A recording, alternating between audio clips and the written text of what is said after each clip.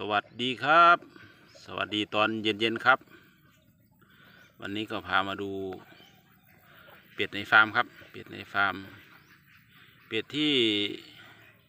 เพื่อนๆเห็นอยู่นี้ก็คือเป็ดบาร์เบอรี่ครับ เป็ดบาร์เบอรี่ เป็ดบาร์เบอรี่ตอนนี้ เป็ดยังไม่ออกไข่ครับ ยังไม่ออกไข่ยังไม่มีไข่เชื้อจำหน่าย แล้วก็ยังไม่มีลูกเป็ดจำหน่ายครับ ลูกเป็ด ที่เห็นอยู่นี้ยังเป็นลูกเป็ดที่เก็บไว้ขยายพันธุ์ครับ นี่ก็เป็นเป็ดแม่พันธุ์ครับ เป็ดบาบารี่ครับหลังจากที่ลงเล่นน้ำมาก็ขึ้นมานอนอาบแดดครับ ตอนเย็นๆบาบารี่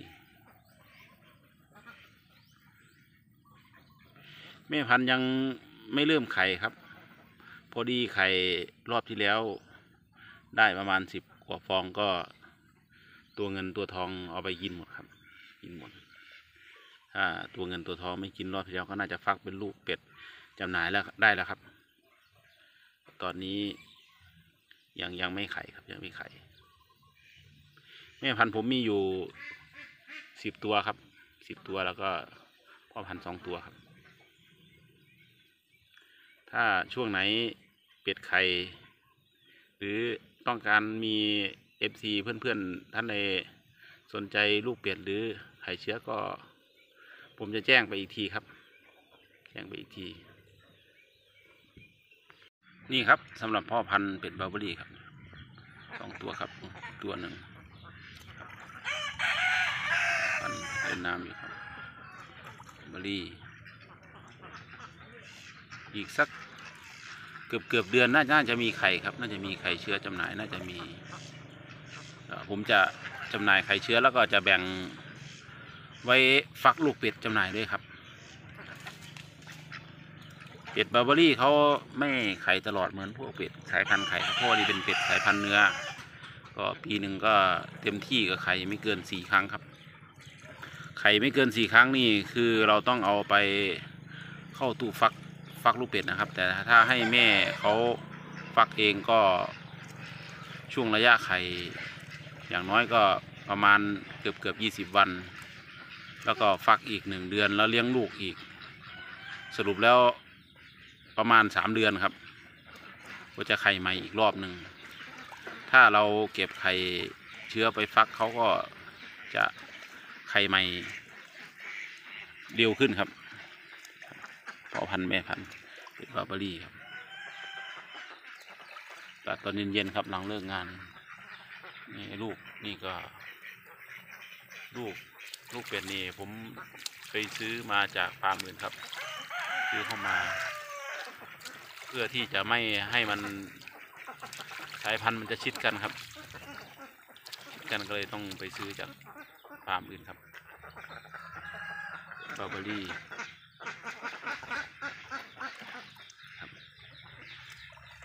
เป็ดสายพันธุ์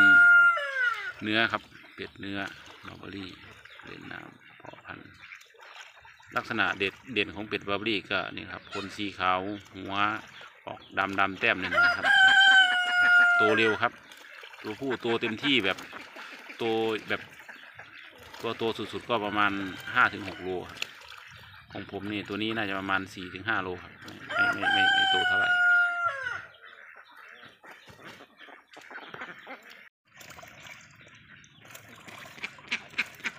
เป็ดก็ปล่อยให้เขาเดินหากินตามธรรมชาติครับ อยู่กันกับเป็ดไข่นะครับอยู่กันกับเป็ดไข่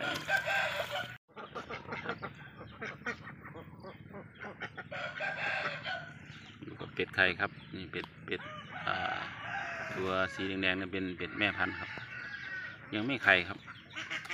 เป็ดนี่ครับ น่าอีกจักสักประมาณเกือบเกือบเดือนน่าจะไข่ครับ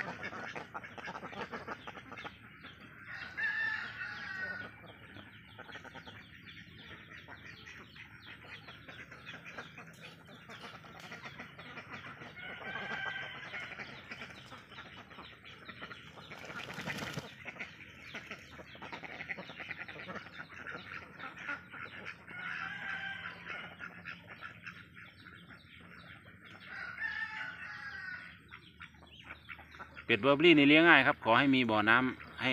เขาลงเล่นครับเล่นเลี้ยงง่าย ตระกูลเป็ดมัสโกวีครับตระกูลเป็ดเทศป่าเลี้ยงง่าย ตัวไวครับ ตัวไวเลี้ยงง่าย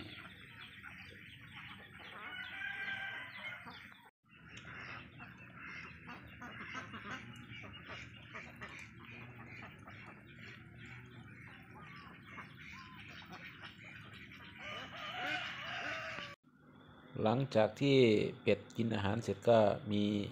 เต่า เต่าขึ้นมากินอาหารเศษเศษข้าวกับเป็ดครับนะครับ เต่าอยู่ในบ่อนี่นะครับ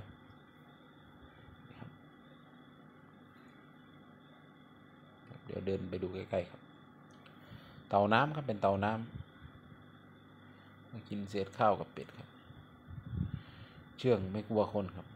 นี่ไม่ใช่เต่าเลี้ยงนะครับ เต่าธรรมชาตินี่แหละ กินอาหารกับเป็ด กินเสร็จเขาก็ลงน้ำไปตามปกติครับ ขึ้นมากินอาหารกับเป็ด กินข้าวครับเศษข้าว